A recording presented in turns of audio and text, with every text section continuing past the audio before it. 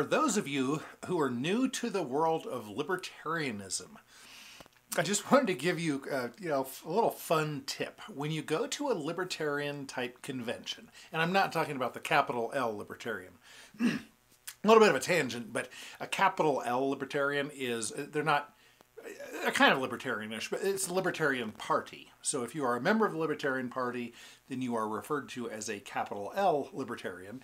If you are a person interested in liberty and freedom and you're 100% there, uh, then you're a small L libertarian. And then under that, there are a lot of different types of libertarians anarcho capitalists and, and anarcho syndicalists, and, and all these different kinds of voluntaryism, which is, is kind of my brand. So, anyway, if you go to a libertarian convention, you can almost skip when you walk up to somebody and say, Hi, I'm Shepard. What do you do? You don't ask that because at a libertarian convention, you know that almost with 90% certainty, the person is an engineer who you're introducing yourself to. They know how to write code.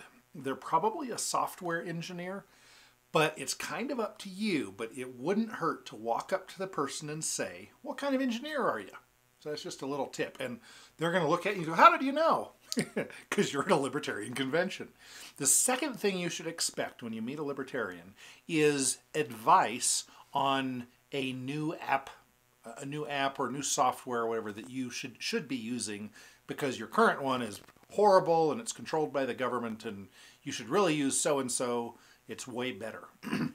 Mark my words go to Libertarian Convention, act normal like you would around anybody else, and you're going to discover everybody is a software engineer and everybody recommends this app or this software over that. Just a couple humorous little things.